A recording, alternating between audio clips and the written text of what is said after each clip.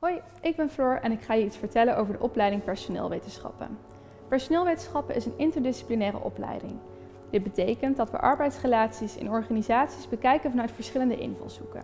Denk bijvoorbeeld aan psychologie, management, economie, sociologie en rechten. En deze thema's komen tot uiting in vier verschillende leerlijnen. De eerste leerlijn is strategisch HRM. En deze leerlijn gaat dieper in op de belangrijkste HR-activiteiten en hoe deze op elkaar en op de organisatie afstemmen. Zo heb ik zelf bijvoorbeeld met een groepje medestudenten een HR-advies geschreven voor een van de grootste bierbrouwerijen van Nederland. De tweede leerlijn, organisatiegedrag, heeft een meer psychologische invalshoek en gaat dieper in op het welzijn, het gedrag en de motivatie van werknemers. Daarnaast ga je binnen deze leerlijn aan de slag met het ontwikkelen van praktische vaardigheden, zoals bijvoorbeeld het coachen van een groepje eerstejaarsstudenten. Kennis van organisaties en algemene managementvaardigheden is ook essentieel en staat centraal in de derde leerlijn Organisatie en Maatschappij.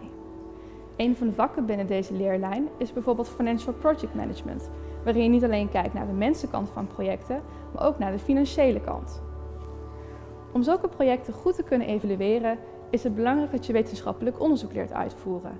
En dit staat centraal binnen de vierde leerlijn Beroeps- en academische vaardigheden, met vakken zoals methode, techniek en onderzoek.